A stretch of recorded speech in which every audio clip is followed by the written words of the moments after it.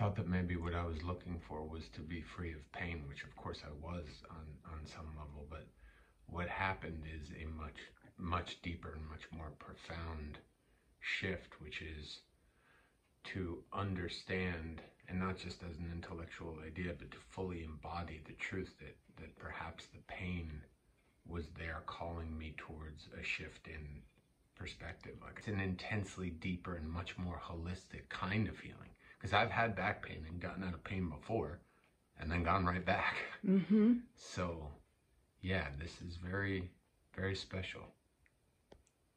And so I leave here very happy and very peaceful and uh, with a new friend. Oh, that's beautiful. My idea of how things need to go has never been very good.